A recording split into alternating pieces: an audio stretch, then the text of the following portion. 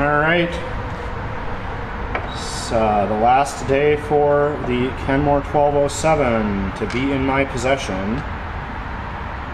Because uh, I threw a coat of varnish over the table here because the finish uh, had come off in a few spots and uh, a quick spar varnish makes the surface a better work surface.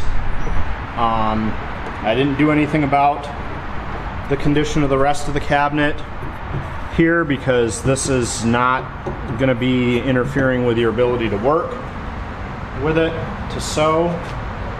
The uh, hinges here for the drop down part of the machine, the screws were loose so I took them out and popped these hinges out to do the varnish and I put a dab of super glue down the holes and the wind just blew down the door of the garage shut. So I put a dab of super glue down the holes and now those are holding pretty well. Um, and we'll just tip these up. Drop our machine down on, oh, I already knocked that one over. Okay.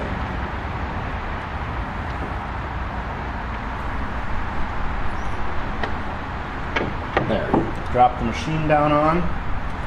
And the real nice thing about these, this setup is it folds up like that and the machine just sits down on the pins while you tighten these screws. Which, you know, if you watched any of my other videos,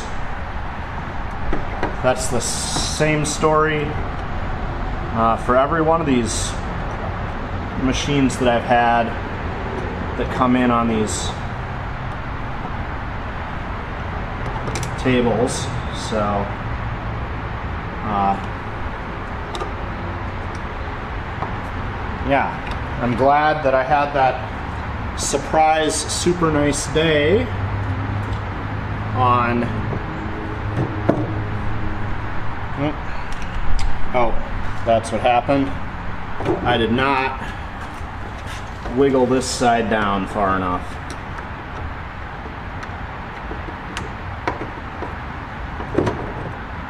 There.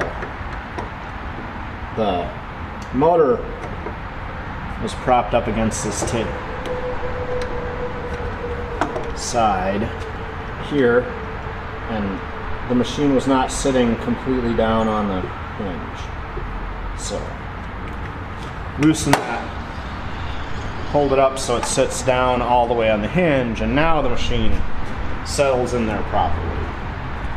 All right away we go new felts on the pins there. Um, I don't know if those will stay put because they're loose but maybe I'll bag those up and uh, with the spare bobbins. But this machine was real filthy after a lot of scrubbing a little bit of work. It is ready to go onto a new home and do a lot more stitching. Um, the most significant problem with this machine is that somebody when it was stiff and they couldn't get it to turn instead of opening this up making sure it's all lubricated and loose inside they cranked on the hand wheel and grabbed it with a pair of pliers and screwed it down as tight as they could to try and get the machine to go. And the hand wheel lock knob on the end of any sewing machine, uh, if the machine won't turn, uh, don't over tighten that knob. Make sure it comes off, check the machine to make, it's loop, make sure it's loose, and then put this lock knob back in place, uh, but tightening this down is never the answer. You have to be able to finger tighten it. So as soon as you apply any amount of pressure on it with a pair of pliers or something, that lock knob isn't going to work properly anymore. So, um, yeah, so this 1207 is in good shape. The 1201 I had is gone already from when I made this video.